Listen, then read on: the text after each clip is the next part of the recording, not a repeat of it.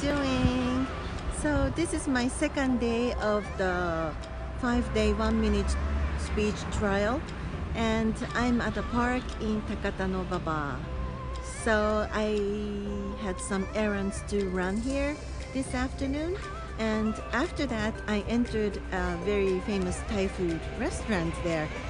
Mm. It, seemed to be very popular among the Thai food lovers in Tokyo and because I'm one of them, I love Thai food, I decided to enter the shop. And the food was very nice of course, but it was a buffet style and I obviously ate too much. I wasn't going to, but I ended up eating too much. So I decided to take a walk back to Shinjuku.